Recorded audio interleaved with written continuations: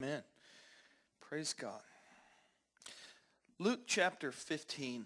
I've been thinking, just to kind of expound a little bit further on this morning's message, on what the heart of the Father looks like. Just to give a little glimpse of the heart of the Father. Jesus finds himself in a service, and it's, it's a gathering of people very unlike what we have here tonight. You know, I, I, don't know the state of everyone's soul here tonight, but we're, we're a gathering of believers. I just want you to think for a second. Jesus had such a stark contrast of people that was with him at this particular time. You had the Pharisees and scribes, which, you know, Pharisees get a bad rap, and rightly so, but it, it's not like they were all bad. You know, they, they sought holiness. They, they sought the Lord. They, they just kind of went about it the wrong way. And through their own righteous acts. And, but uh, let, us just kind of classify them in this story as th- those who are morally right. At least they feel so. And at the same time, it says that tax collectors and sinners started coming to him.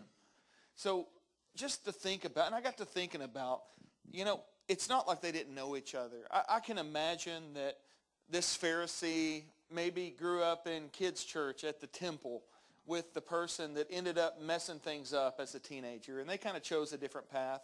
You know, we all know people like that. Some of us have been people like that, and thank God for his mercies and redemption. And they found themselves together, you know, and it, everybody knew that the town drunk you know, he was there. And then the tax collectors were there who were the greatest traitors of all to all of Israel, kind of aligning themselves and manipulating the people for monetary gain.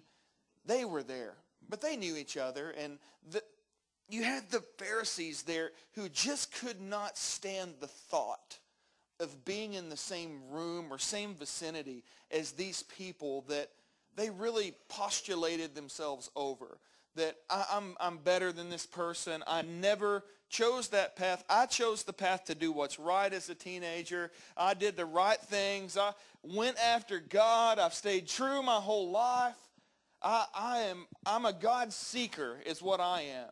And then all of a sudden, this guy that really messed things up shows up in the same gathering that this Pharisee does. And this outright traitor to the nation of Israel is standing here as well. And they're standing there with Jesus in front of all of them, starting to wonder, if this man's a prophet, he's going to know who these people are and what they've done. And we're about to have an excommunication out of this gathering. They, they won't be here very long.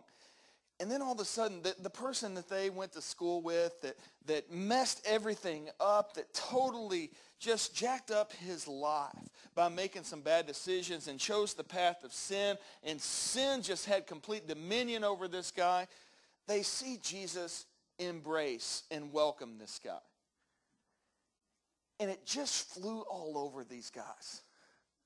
Because after all, they stayed true. They had done what's right. They, they sought after morality. They sought after, after God while others ran. And now that these are kind of coming into the place where Jesus is, they did not like it. Now, I know it's a far stretch for you to place yourself, for that to be the picture of the church today, because I know church is nothing like that.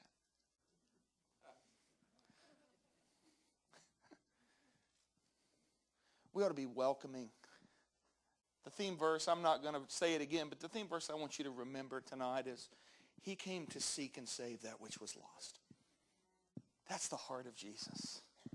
He came to seek and save that which was lost.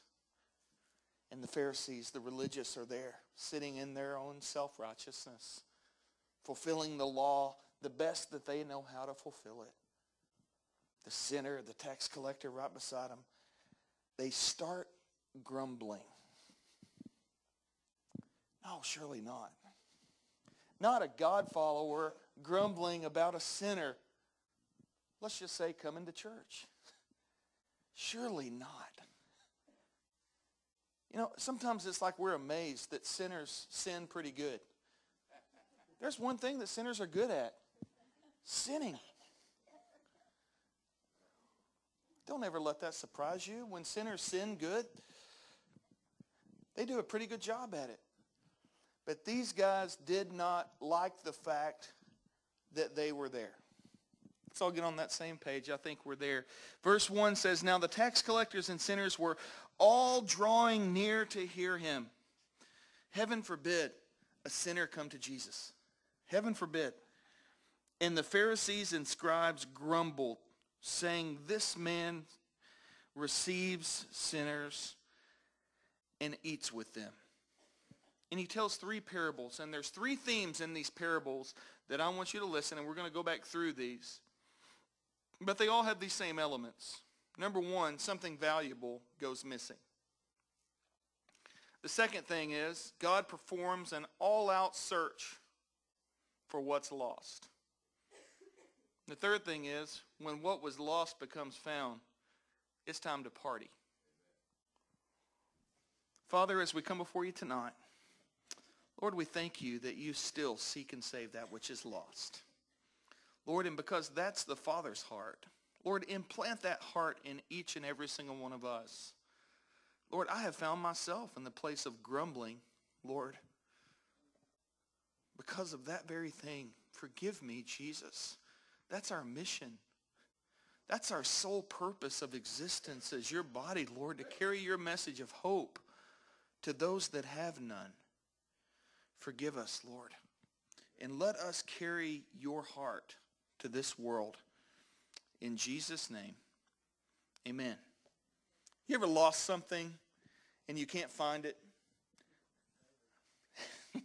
daily. I try not to daily. Maybe it's keys. I, always do pretty good with keys. I, I have this structure, and it gets on my wife's nerves because I tell her all the time, everything has its place. I have spaces for everything. I put the fingernail clippers in the same spot every single time I use them. That way, when I go to get the fingernail clippers, I know where they are. What a brilliant idea. That's just how I am. I'm tough to live with. Thank you, Jenny. She's about to go back into worship. To lose something. I talked this morning about when I lost my son at Disney World. And Cheryl Hazelton messaged me this afternoon and she asked me, she said, did you ever find him? She said, you never finished the story. I just got to preaching. I forgot to tell the rest of the story. Yeah, I, I found him. Praise the Lord. After about 10 minutes of frantic searching, I didn't care if we had tickets to go on to the next ride and that we were we could be the first in line. That didn't matter anymore. I had lost something and I had to find it's my most valuable possession, my son. He had ducked into a restaurant and he just popped right back out 10 minutes later. And I'm just like, I lost whatever hair I had. That's why I'm bald. I had a full head of hair up till that moment. But that moment, something goes lost. And Jesus tells three stories. And I think we can see the heart of God in each of these three stories. Are you with me tonight? Luke chapter 15, verse 3. And he told them this parable. What man of you, having a hundred sheep, if he has lost one of them, does not go leave the 99 in the open country and go after the one that is lost until he finds it. We, most of us, there might be a sheep herder in here, might be a rancher that corrals sheep. I don't know. I never have. I don't know the mindset of that. But I would imagine that if 99 are safe in a pen and you know that they're okay, if, yeah, open. If there's one that gets lost, I would imagine that the appropriate response is not to say, ah, well, I got 99, don't worry about that one. It'll be okay. If he comes back, it's fine. If not, I still got 99. That's a lot of mutton. It's okay. Just let him go. No, I, I wouldn't think anybody would do that. Jesus says, which person It would be crazy to have that mindset. Oh, we still got 99. Let, let them go. It's fine. Let them go. They're irrelevant. We still have 99. It doesn't matter. Just let them go. He says, and when he found it, he lays it on his shoulders, rejoicing. There's those two elements. Something valuable gets lost.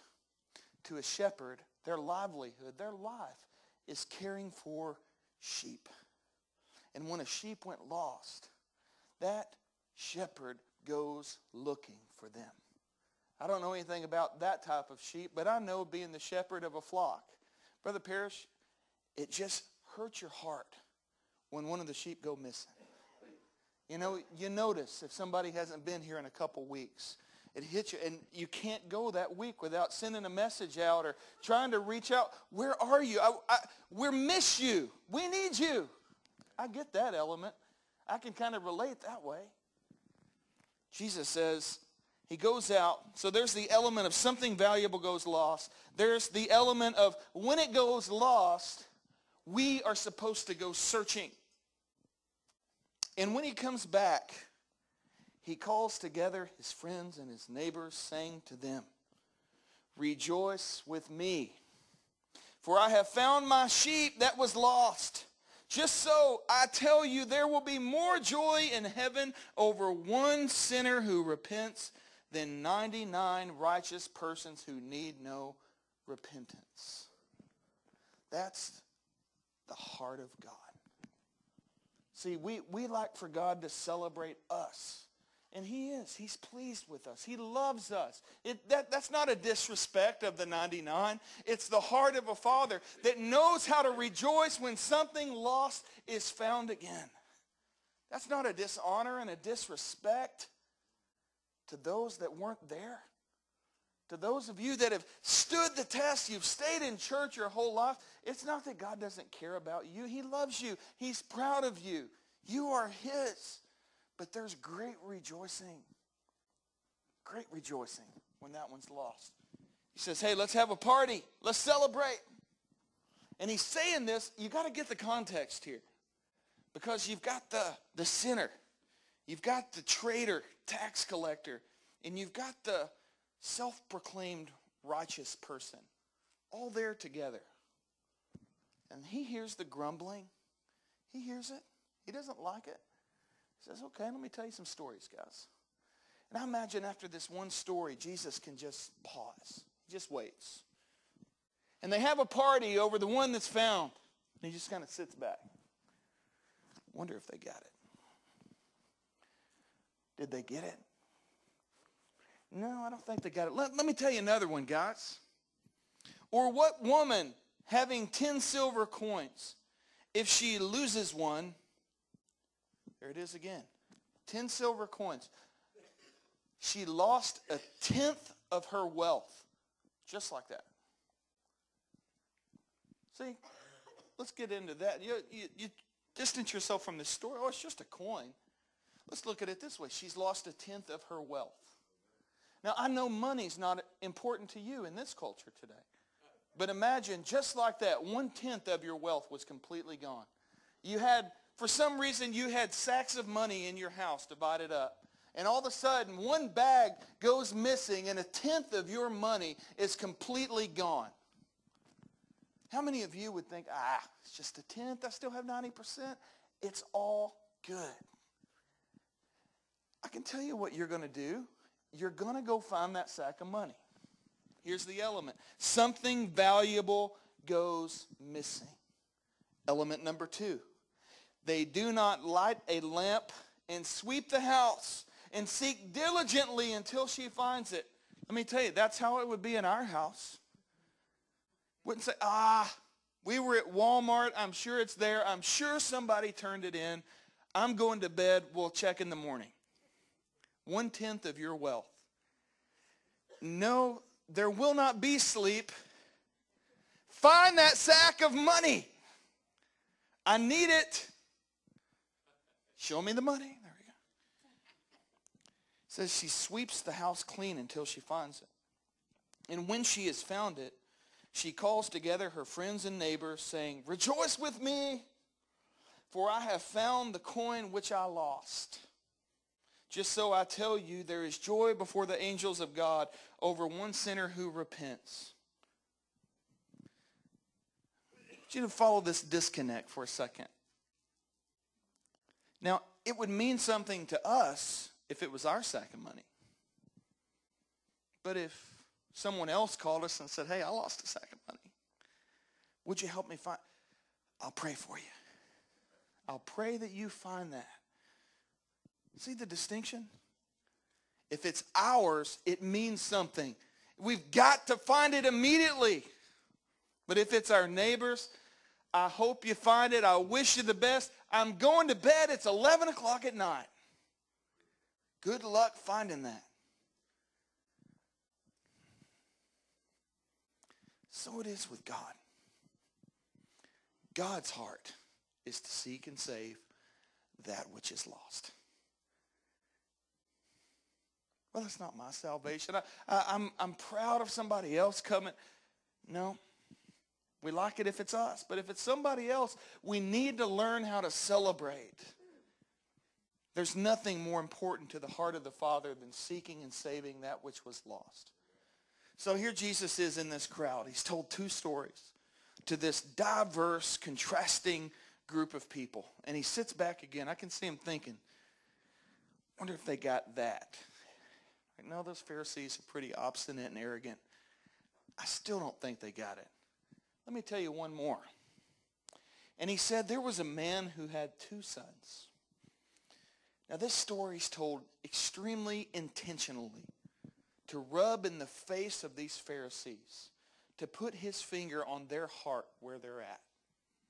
He says, there's this man, he had two sons. The younger of them said to his father, Father, give me the share of the property that is coming to me. And he divided his property between them. Not many days later, the younger son gathered all that he had and took a journey into a far country, and there he squandered his property in reckless living. Now they're starting to get it. Because, oh, Hank is looking at Frank over there.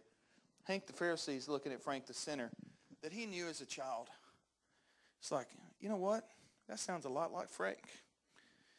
You did that very thing. You squandered your life away. While I stayed in church, I went to temple every day. I followed the right path. I chose righteousness. I chose morality. I chose to follow God. And you went out there and ruined it. You lost your chance. And you don't deserve to be here with us. They got it. But Jesus continues. And he says, and when he had spent everything, a severe famine arose in the country and he began to be in need. Can't you see the distinction in the crowd? The sinner, the tax collector, they're getting it because they're in that place of need.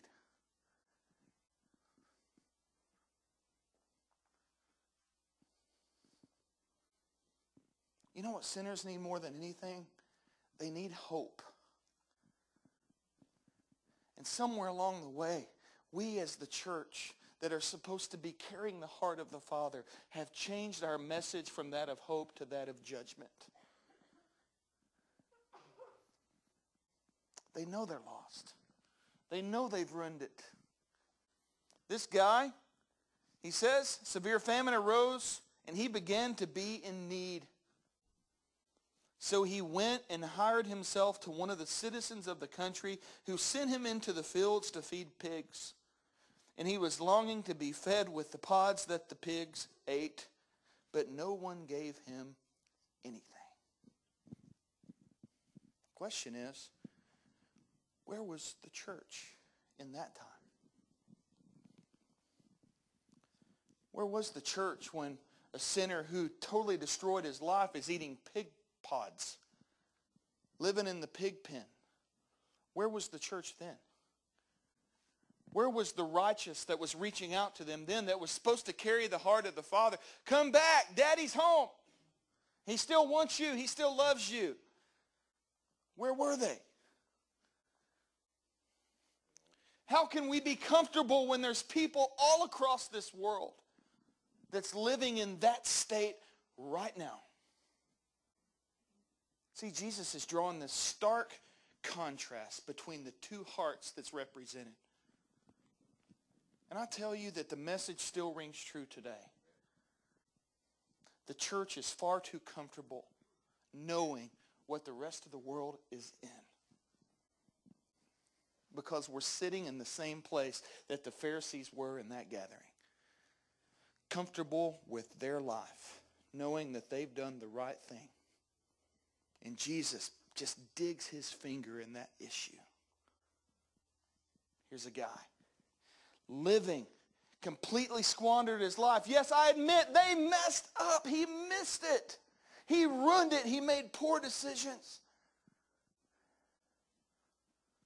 But where were we?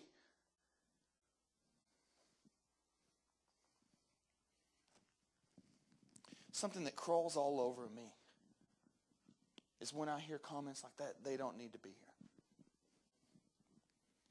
They don't deserve to be here. They're not good enough. And we forget that neither were we. He says, when he came to himself, he said, How many of my father's hired servants have more than enough bread, but I perish here with hunger? I'll arise and go to my father, and I'll say to him, Father, I've sinned against heaven and before you. I'm no longer worthy to be called your son. Treat me as one of your hired servants. We've got something valuable that's gone lost. And he arose and came to his father. Here's the second element. But while he was a long way off, his father saw him, and he felt compassion. And he ran and embraced him and kissed him. There's the heart of the Father. Something valuable goes missing. He searches diligently. I would imagine there wasn't a day that passed by that that father didn't go to the end of the driveway looking. Is he coming? Imagine a day didn't pass that he didn't go down to the marketplace and inquire, have you seen my son? Where is he? And the son said to him, Father, I'd sinned against heaven and before you. He's starting his speech. I'm no longer worthy to be called your son. But his father interrupted him. And he said to him, Bring quickly the best robe. Put it on him. Put the ring on his hand and the shoes on his feet. And bring the fatted calf and kill it Something valuable goes missing. The father goes searching. And now it's time to party. For this my son was dead. He's alive. He was lost, but now he's found. And they begin to celebrate. Why? Because it's not the righteous in need of repentance. It's sinners. And the heart of the Father is to see sinners turn to him because he came to seek and save that which was lost. As if he hadn't driven the point home enough in three stories in this contrasting crowd. He's just going to stick it to the Pharisees a little bit more. He says, now there was an older son. He couldn't have been any more blatant if he would have said, now you, I'm talking about you that stayed here the whole time, that did the right thing, that served, that never squandered your life. I'm talking to you now, Pharisees. Can I have your attention, please? It couldn't have been any more blatant if Jesus would have said that. But he says there's an older son in the field, and as he came and drew near the house, he heard music and dancing. Heaven forbid that we rejoice over a sinner coming into the house of the Lord and trying to get right with God.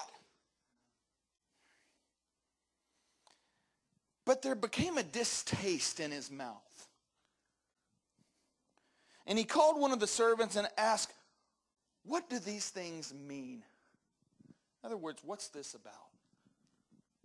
What's interesting to me is the other son stayed at home the whole time but he still didn't have the heart of the Father.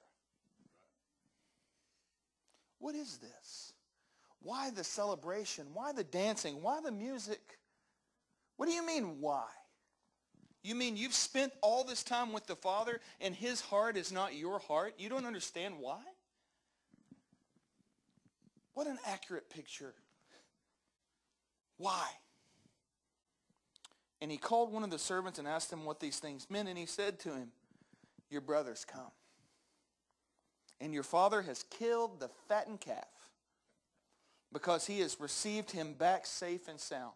Once again, the heart of the Father, seeking and saving that which was lost.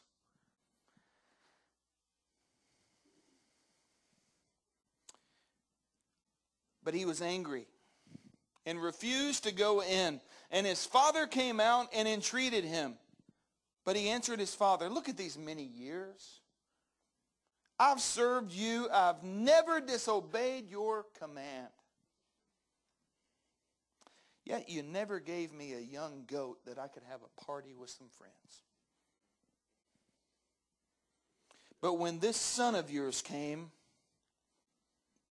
who has devoured your property with prostitutes and completely destroyed his life, you have killed the fattened calf. And he said to him, Son, you're always with me and all that is mine is yours. It was fitting to celebrate and be glad, for this brother of yours was dead, and he's alive. He was lost, but now he's found. Three elements. One, something valuable goes missing. Two, the heart of the Father is you search diligently until that thing missing becomes found. Three, there's a party when you find it. Why is this not the vision of the church today?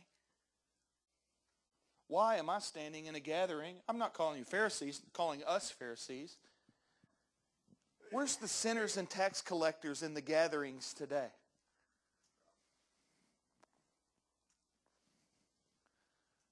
Where are they? Where's those that squandered their life away? Why don't they feel comfortable being with us today? Where are those that just made the worst decision of their lives? Why don't they feel comfortable running to the only place where they have hope? Why? Why are we not concerned about our brothers and sisters living in the pig pens of life because of the decisions they've made? Where is the heart of the Father in the church today? Why are we not going out in the highways and byways, seeking and saving that which was lost? Where did we change our message from hope to judgment? Because the Father's heart is to seek and save that which was lost. I tell you, church, we've got to regain the Father's heart. And something keeps us from celebrating sinners coming back into fellowship with God. We're okay as long as it's on our terms. I don't think the brother was against the brother coming back. I think the brother was against the celebration that took place. I think he would have loved if he came back and the father did treat him like one of the servants so he could hold it over his head. See, you messed up. You're still here. I'm in the place of honor because I didn't do what you did. I don't think he was against him coming back. He loved him somewhat. He just didn't want him to get what he got. Somewhere along the road, we've become more concerned about what's coming to us. You know, it's like the parable that Jesus told about the guy that went out to hire people to work in the field. You remember this? One, he, uh, he hired it, let's just say 9 o'clock. And he agreed on a certain wage. Remember this? Then he went out and the work wasn't getting done. He went out at, let's just say 11, and he said, hey, come on in. And he agreed with them a certain wage. Then he went out at 1 and then at 3. And then the quitting time is 5 o'clock. He went out, let's say at 4.45. He said, hey guys, there's still some work to be done. Come on in. And when it came payday, boy, he paid the guy that worked 15 minutes a massive amount of money. The same agreement that the guy at 9 o'clock had. And the guy at 9 o'clock is sitting there thinking, if he got this, I'm about to get a fat paycheck. And then all of a sudden, the 3 o'clock guy got a paycheck, and it, it was the same as the 445. It's like something's not adding up here. 9 o'clock sitting there thinking, okay, still, I've been here all day. He, it's going to be good. 1 o'clock came, same wages. 11 o'clock, same wages. 9 o'clock came, and he paid him the same thing that that guy that only worked 15 minutes got. And he is ticked completely off. What gives? I have worked for you all day long, and this bum that sat out there under the tree all day and came in and worked 15 minutes got the same thing I got. What's the deal? Said, hey, did I not agree to pay you a certain wage? Yes. Then it's none of your business what I do for anybody else. Boy, that just crawled all over that guy. And truthfully, it crawls all over us. But it shouldn't. Because the heart of the Father is to seek and save that which is lost. Thank God that those that come in the church in the midnight hour, thank God for those that get saved right before the appearing of the Lord.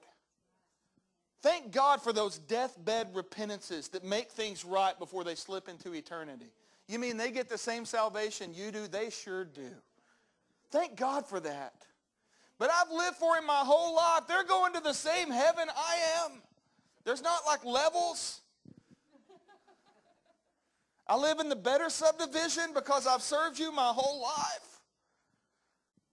No, it's level ground at the foot of the cross. Thank you, Jesus. What are you getting at, Richie?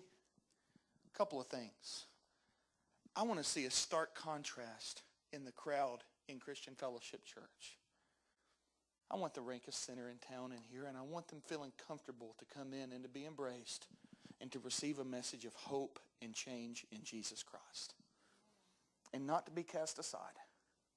And not to be grumbled against. Why are you here? You used to come here till you lost it and messed up. Now you're not welcome. I want to see the rankest sinner in town come into this place. I want to see the biggest drunk in Marshall County come and sit in the pew. And I want to see the elder brother come and lay their arms around them and embrace him, saying, you know what, we're glad to have you. The Father's been waiting for you to come.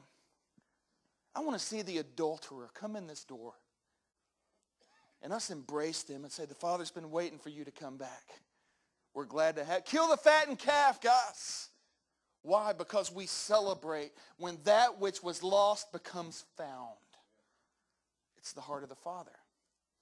Something goes missing, we search diligently until it's found. And then we party. Father, in the name of Jesus, put your heart in us. Lord, what a powerful illustration that you drew in this gathering that you told these stories to, Lord you put your finger on an issue, Lord, and unfortunately, we're still not getting it right 2,000 years later. Change us. Change this place, Lord, where our heart becomes your heart to seek and save that which was lost. The heart of the Father has not changed. Lord, but we have. And our message is changed from hope to judgment. Forgive us, Lord. And let us not sleep until we sweep the house clean, looking, Father, for that which was lost. Lord, don't let us stay complacent in these church chairs, Lord, while our brothers, while our daughters and sons are living in the pig pens, Lord. Don't let us be complacent with that, God, because it's not okay. It's not all right, Lord. You desire for them to come back, Lord. Give us the heart of diligent searching, Father, and implant your heart in ours. In Jesus' name we pray. Amen. Love you guys. We can be dismissed tonight. Wednesday night at 6 o'clock, the meal for the clusters. And we are starting a new cluster.